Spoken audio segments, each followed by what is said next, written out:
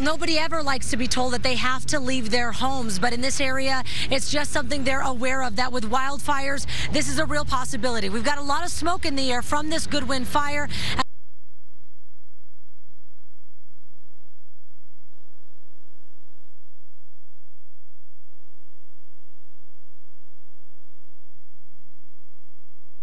Lifted later on today. A lot of these people just happy to be going home, but in what conditions those homes are going to be, that still remains to be seen. Reporting in Dewey Humboldt, Allison Rodriguez, ABC 15, Arizona. Well, it's one thing to pack up your belongings, but many families are also